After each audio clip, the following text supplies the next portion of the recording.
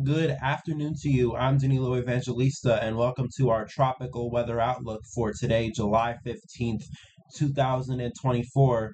Let's start off with the National Hurricane Center homepage for the first time um, in a while, and it's been the case for the last several days. We're looking at nothing of concern in the Atlantic. Over the next week, things are quiet, so good, especially after the activity we've seen since the beginning of the month. Um, but in the Eastern Pacific, though, there is an area of interest, although the good part about it is that it is far away from any coastline. Um, and it's a small area that we're watching that has the potential that it could become a tropical system. Um, but once again, it's going to remain well off um, the Mexican coastline. It's going to be well far out in the Eastern Pacific, and there, there really won't be much any of any threat to life and human beings. So that is good and then after that, there's really not much else um, in terms of interests for the tropics. Taking a satellite look of the Atlantic, you could see um, why it is why we're not really watching anything right now in the Atlantic. It is pretty quiet.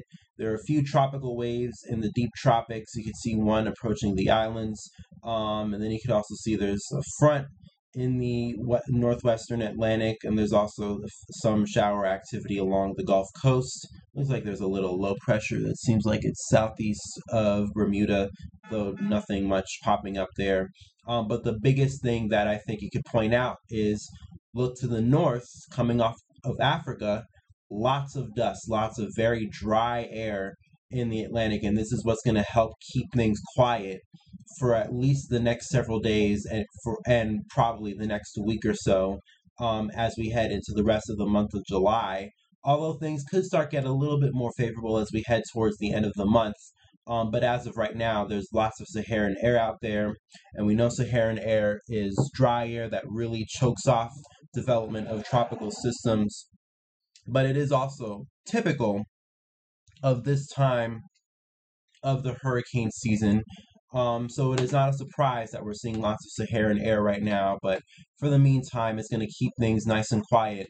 Um, and if we take a look at the 850 millibar vorticity, you could see that there is nothing too much that is sticking out.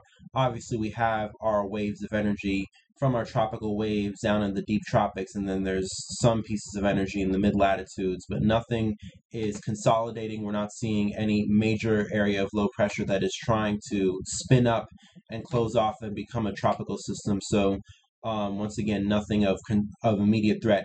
Although you can see in the eastern Pacific, there is this area of vorticity, and that is associated with our um, area that we have in the eastern Pacific, um, but other than that, there's nothing much else to go over.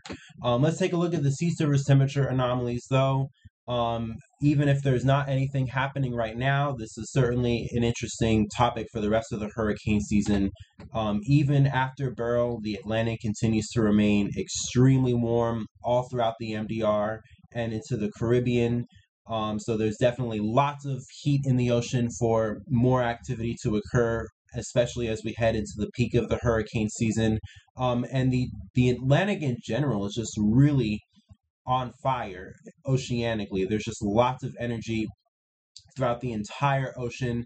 Yeah, sure, we have a small patch off of the northwestern coast of Africa, although this is a lot more um, Saharan air induced rather than what is actually happening. As I said before, and I think I said this earlier on in the season, the models do tend to be very sensitive um, when it comes to Saharan air because a lot of these satellite, a lot of these maps with sea surface temperature anomalies do kind of come from satellite driven products. Um, and they do tend to be very sensitive about Saharan air, which does impact these maps just a slight bit. But in general, even with that, the Atlantic is still very warm. And the Eastern Pacific as well is also pretty warm too, although we do have um, neutral incoming. Um, we don't have an El Nino out there, which, as I said before, will help set the stage for a very active rest of the hurricane season to come, especially as we get towards the peak um, and starting next month, which we'll go over at a later date. Um, but the Atlantic in general is just really warm, and I'll show you this by this tweet by Brian McNoldy that he tweeted several days ago, but I think it is still very relevant today.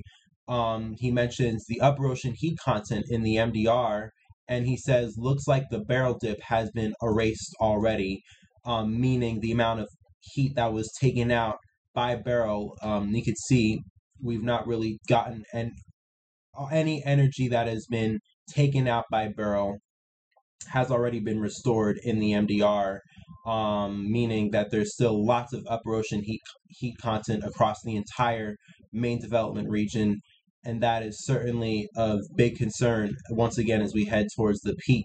And you can just see it once again in the sea surface temperature anomalies widespread throughout the MDR and the Caribbean. Certainly no sign of Hurricane Beryl's sort of imprint. It's wa- it's cold water wake definitely didn't have much of it, and we have the rest of the peak of the hurricane season to go, and that definitely means more energy will probably build up in this area rather than be erased by Beryl, which is something very, very concerning um, for the hurricane season ahead. But obviously, as I mentioned before, um, Saharan air is going to keep a, a little bit of a lid on it right now because, um, once again, Saharan air is a big source of dry air that comes off the continent of Africa. Um, and it's very typical this time of year, but you could see on this map Saharan air right now widespread throughout the entire MDR. And until we see this lift north and until we see some of this dusty air kind of clear away, we're not really going to get too much in the way of development to occur, especially in the deep tropical Atlantic. We could still something we could still get something that, you know, sometimes pops up in the general western Atlantic, like the Gulf or even off the East Coast, which we've seen a lot in recent years, that could still possibly happen. And I'm sure that probably within the next few weeks we'll get at least one of those kind of pop up systems. But in terms of deep tropical development, really does not look like there will be any sign of that at least um, for the next week. So those in the Windward Islands don't have to watch for any tropical threats right now. Although, once again, even with these tropical waves that don't develop, they do tend to bring gu- gusty conditions and heavy rainfall um, to the um, Lesser Antilles, regardless of if as if they're tropical cyclones or not. So that'll be something that obviously you guys have to keep in mind. Um, but once again, just take a look at the GFS. We're going to look at the Eastern Pacific in just a moment, but the Atlantic for right now Let's run the GFS out for the next week.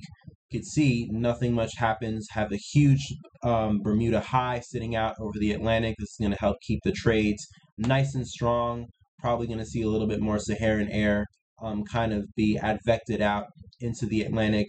And you can see over the next week, nothing much happens at all. And then we, as we stop it at the seven day time frame, looks like a little bit of energy, at least on this run that the GFS has, that develops south of Florida. And then if we go further than that, which we're not going to, the GFS does actually go on to make this try to develop into a quick spin up in the Gulf. But this is seven days out, and I would take it with a grain of salt. But generally, over the next week or so, things remain quiet, not looking at much um, in terms of development in the Atlantic.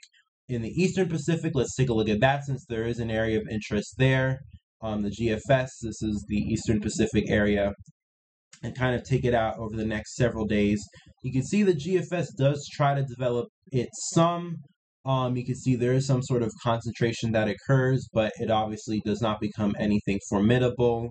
Um, and obviously, it stays well off away from any coastline, especially um, the Mexican coastline, and they'll probably stay a weak system as well. So I would imagine any sort of threats with rip currents or you know swells will probably will probably be minimal to none. Um, so there's that, and then we also have in the seven day time frame. Looks like the GFS does try to spin something up in the Eastern Pacific there as well. Um, they haven't had much activity this year, so maybe that might be something we need to watch, as well as with what this current model thing in the GFS is for right now. But other than that, Tropics looking nice and quiet, at least for the next week. Certainly a much needed um, break um, given what we had with Beryl and all of that um, earlier this earlier in the month. And now we're getting our peace and quiet to hopefully recover. Very much needed, and it looks like once again that'll probably last for at least the next week into the foreseeable future. Although things can change, and we've, we've especially known by now during hurricane season, especially as we get towards the peak, things can and often do change very quickly, sometimes just within a week. So definitely keep an eye on the tropics. And I'm sure from this point on, as we get in towards the next month, it'll definitely start to get a lot more busy. With that being said, though, I'm going to end it off for here today. Nothing much to go over once again. Um, if you like what you saw today, I would really appreciate if you like, comment, subscribe on the video, share your thoughts below. If you're new to my channel, obviously I would recommend you sub- subscribe, turn the notification bell so you could get any video that I upload to the second um, that I upload it, so you could get it the second that it's posted. With that being said, stay safe, peace, love, and kindness to you all, and we will talk again tomorrow.